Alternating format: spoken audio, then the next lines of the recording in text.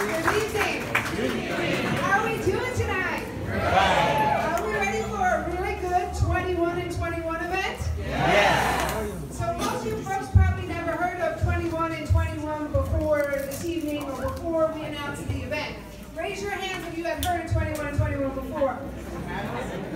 Yeah?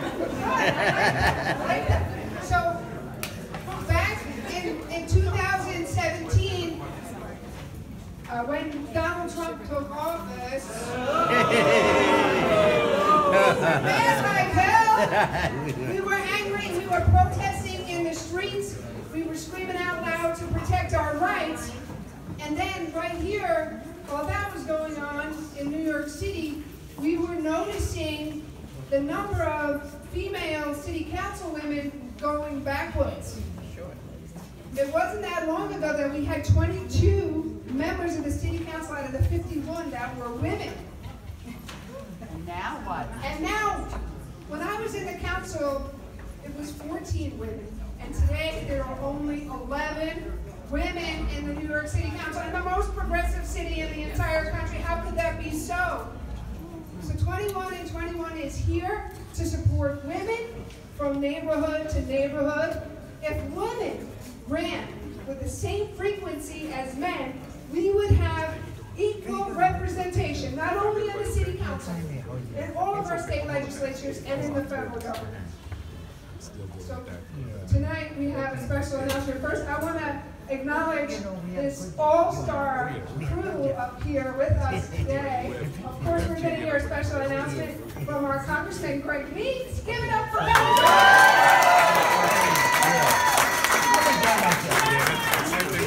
Yeah. I come to social And oh,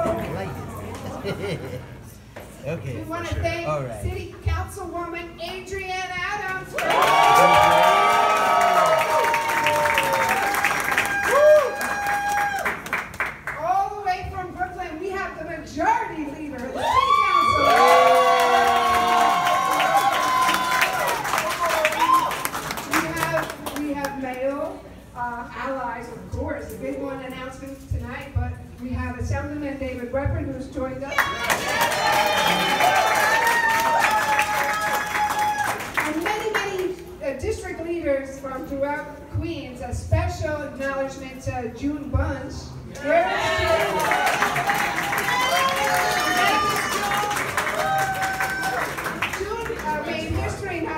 Ago by being the county leader uh, and, and holding down the fort for a few months.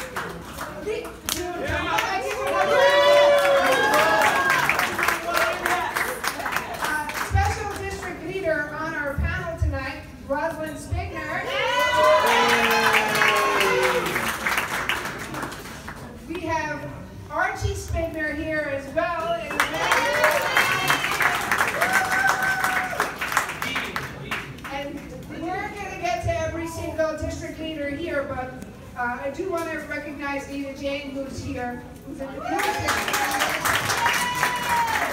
of course, uh, the leadership of NAVA, Dalit Nath, and Rotea Actor, who's been putting.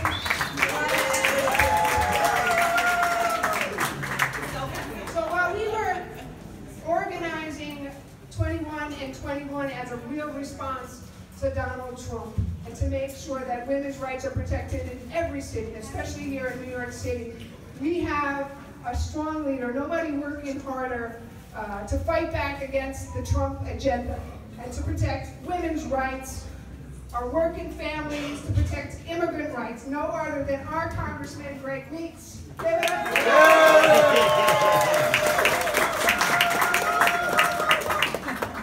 So it's not just that he fights against Trump. He's been taking on big banks as well. And we know banks, sometimes they're, they're not in our communities as often as they need to be. Queens is certainly underserved as it relates to banks. And we have been victim, many of our communities, of predatory lending. But uh, the congressman has a really good bill that he introduced only a few weeks ago. He's helping the corporations with their bottom lines because he will be requiring diversity, not only women, but people of color, on corporate boards and in C-suites from bank to bank throughout the country. Give the congressman a round of applause.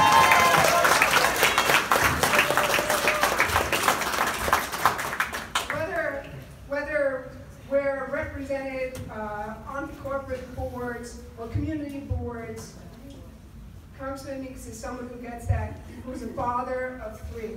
He's been championing women's rights for as long as I can remember, and we're so lucky to have him here today supporting 21 and 21. Give it up for Congressman Meeks.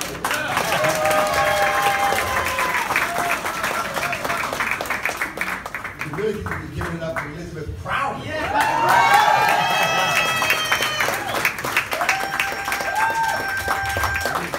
An individual who has been focused from even before she was elected to city council to make sure that we began to do the right thing for our borough, our city, our state, and our nation. We will never be whole and moving positively until we make sure that there is diversity and women are in offices of power. That's right.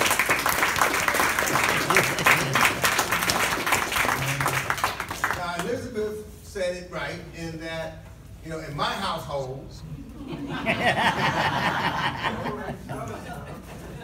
I really don't know who's the boss. Because when I come home, you know, after my wife, who is an assistant commissioner with New York State Housing, but when I come home, she says, you may be now, this happened the other day, she said, you may now, some people call you the boss of Queens. Well, boss, get out that. And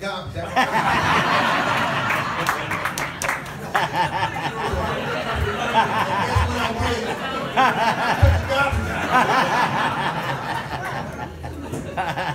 I also have three daughters who are doing things, and I'm so proud of them. And recently, I have a granddaughter.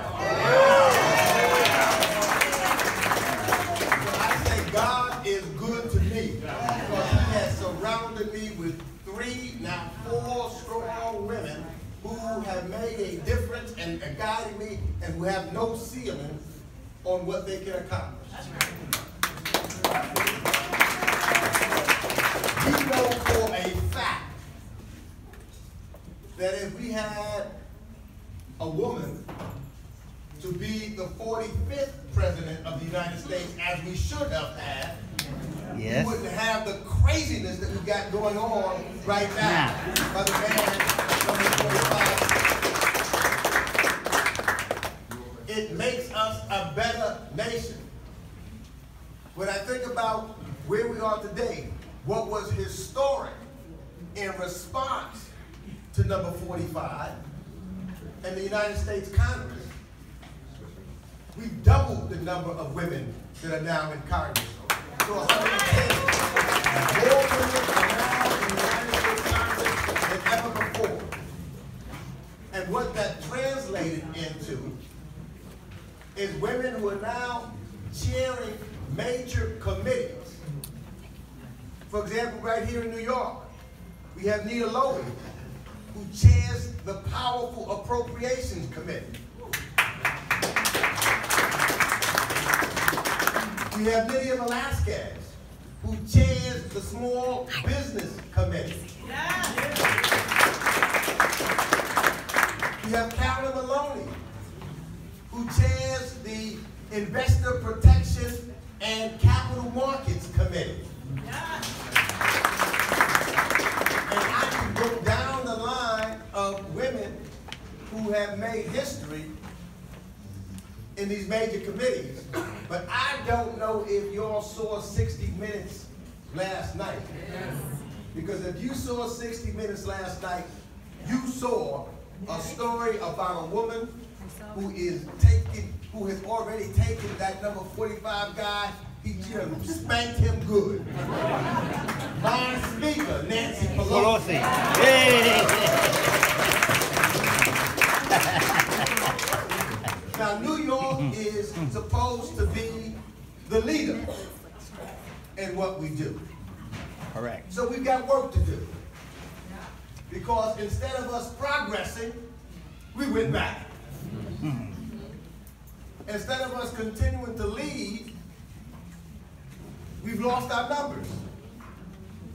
And so my observation, I'm committed as chair of the Queens County Democratic Organization to work with 21 for 21 so that we can make sure that we get at least 21 women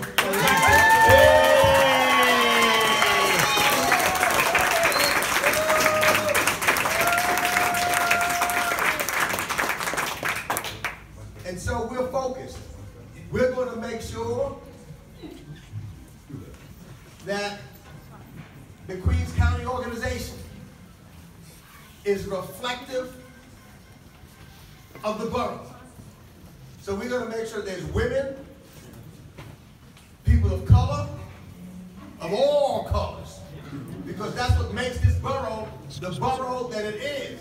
It is more representative of the whole world than any place else, and everybody's going to feel and be a part of just that. The greatest organization in the greatest borough, in the greatest city, in the best state, in the best nation that this world has ever seen.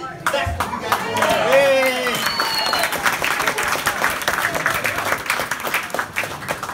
Now, what the plan is, because what the Group 21 21 and Elizabeth Crowley, they're not just talking about it. That's right. That's right. They're putting together a program because what we know, we gotta level the playing field. And we know in this business, people gotta raise money. That's right. All right. So 21 for 21 is gonna be working with women to teach and show you how you can raise money.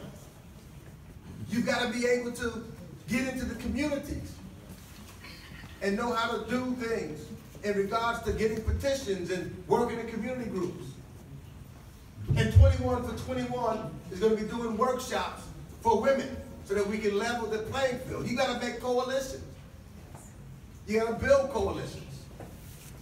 And 21 for 21 will be building coalitions. I will tell you, I've seen some of the work. You've seen some of the work of 21 for 21. Why do I know?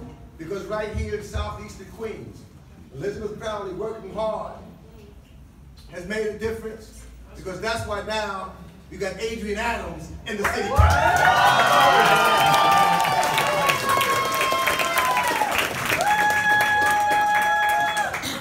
And does it make a difference? It absolutely does.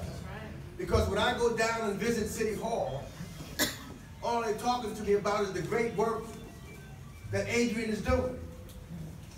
So imagine what would happen if we made sure that we had 21 of her.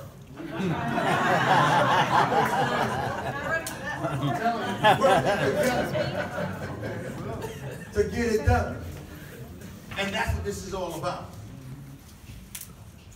We are going to make sure that there is equity and that the playing field is level and that we get the voices of women. Because when we know that when we get those voices, we get it right. And it holds us accountable. And we make sure that we're balanced. And we make sure that we're working together. That's what we lost. So we've got an opportunity and we've got a lot of work to do. And it's time for us to roll up our sleeves right now. Because you don't wait till two, two months before 21, 21. You don't do that. I can tell you right now that what I will be doing as the county leader, I gotta evaluate to see who's ready.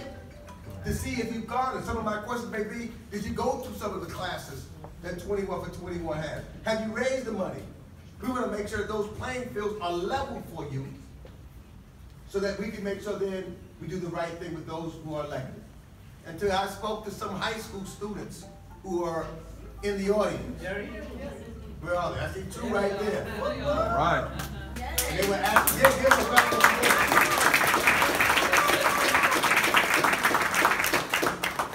And they already know there's nothing that can stop They're already focused on making, they were asking me questions, they've been to do internships and uh, want to make sure that, asking me how did I get involved in politics and what do I think the first step should be or the second step, and they're in tenth grade. All right. That's what we want. That's how we make it happen. It starts then because I tell you, nothing, nothing can put a ceiling. I mean, Hillary Clinton talked about that breaking the glass ceiling. Let's shatter them all. Yeah. Shatter them all.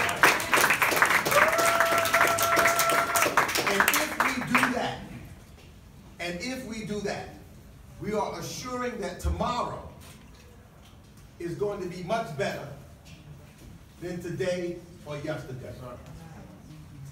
So, and I see the president of DC 37 here.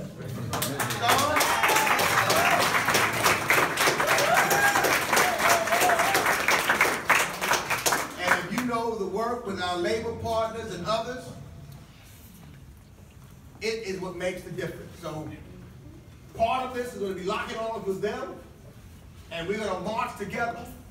And when 2021 is over, we're going to lead the nation in women being elected, the city council, the state assembly. Look, we've made history again.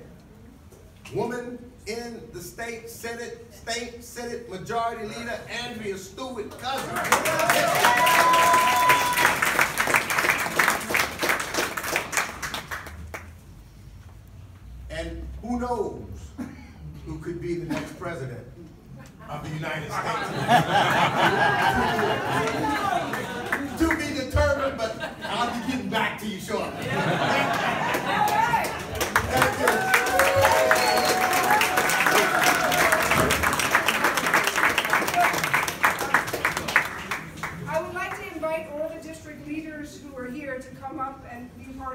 Picture. We'd like to do a group shot. I see um, Carol Bresser back there. I see uh, Alon Reddick, uh, Tammy Oxerick, um, June stay up.